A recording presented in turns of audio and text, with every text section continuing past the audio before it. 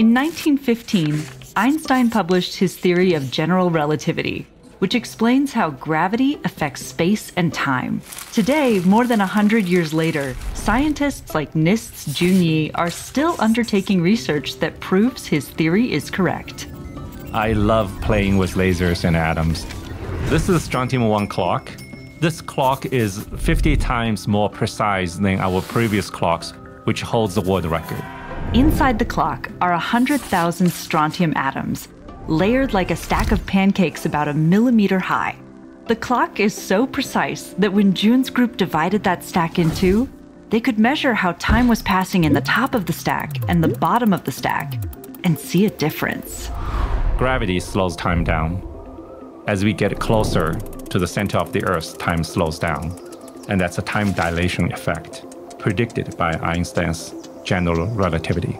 This isn't the first time scientists have proven Einstein's theory.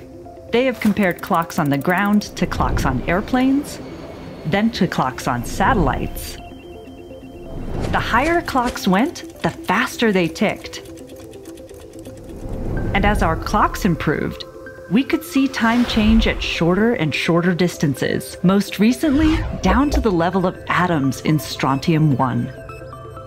This is clearly a new uh, measurement capability that, that we have never done before. And when we say we, meaning the humankind. and this really is the first time in a laboratory that we can measure time dilation effect across distance of a millimeter. So why do we keep making even more precise clocks? Time and gravity is connected. So as we continue to improve clock precision, we can use this to explore and measure the changing Earth. Imagine if we can make a bunch of these strontium clocks, put them around the perimeters of Yellowstone. We may be able to tell when the Yellowstone might have a volcano that's coming up, and so we can warn people how the global warming is causing glacier to melt, to under, for the sea ocean level to rise or maybe the massive body of uh, underground water is migrating. And for physicists, these new clocks can bridge the gap between the quantum world and Einstein's theories.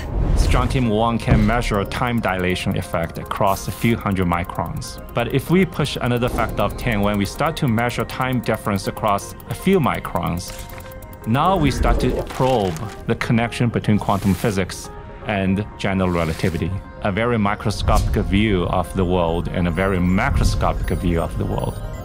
That part, Einstein might find very surprising. That would be a completely new realm of physics for us to explore. What else will these improved clocks teach us? Only time will tell.